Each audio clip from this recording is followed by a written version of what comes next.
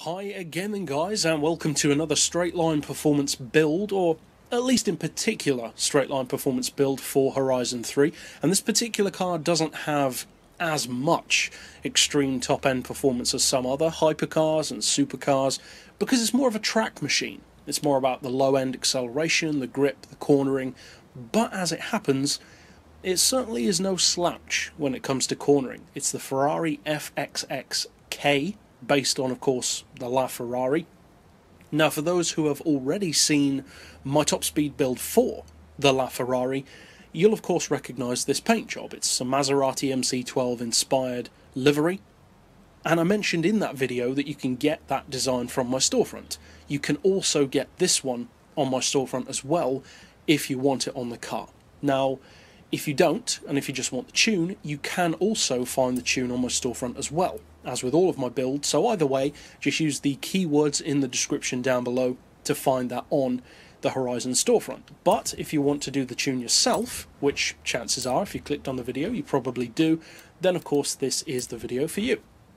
Now as far as the drivetrain swap, some purists might prefer rear-wheel drive, and as you can see, the points are higher on that. It is X Class with rear wheel drive, so it depends what you want. I've opted for all wheel drive because of the grip advantage and, in particular, the launch advantage that it gives you. But it depends what you want. As far as the rest, it's fairly obvious. Just lower the car's weight, increase grip. You can't increase the power, but just improve the car here and there in little ways. Now, as far as the performance, the acceleration in particular is great. 1.5 to 60, 3.5 to 100. And as you can see, the top speed isn't bad at all. 223 miles per hour isn't as fast, of course, as the LaFerrari or many of the other supercars, but this just isn't that kind of car. You don't use this on wide open circuits or straight line drag races. You use it more on tracks where you need grip and just extreme cornering potential. This tune is to give you that bit of extra speed when you need it for the occasional straight section, and for that, it's good. Now, for the gearbox, you want a final drive of 4.4, then I would recommend individual gears of 2.5, 1.9, 1.5, 1.2, 0.97, and 0.77. Then for the rest, if you're familiar with my tunes, you will know neutral camber, neutral toe, 1 degree of caster.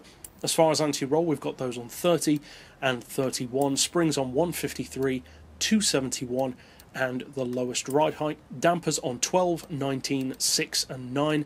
Aero I would recommend as low as possible, but it depends. If you want pure handling, obviously increase it, but if you want that extra top speed, you'll need to have it lower. As far as the diff, I would recommend 100% on acceleration, 0 on deceleration, and in the case of this car, a 78% split in favour of the rear. That gives you a nice mix of the great launch and the great benchmark numbers, but also, of course, with more of the power going to the back to make it feel not too grippy, basically, at the front. You don't want the handling to be overly heavy and lose the car's manoeuvrability. Now, Either way, if you get this from the storefront or if you use a variation of this tune, whatever you choose to do, obviously I hope you find it fun and win races with it. Now, if you'd like to keep up with other tunes that we've already done or tunes that I haven't even put out yet, of course you can check out the playlist that's coming up now at the end of this video or subscribe down below. But for now, as always, thanks for watching.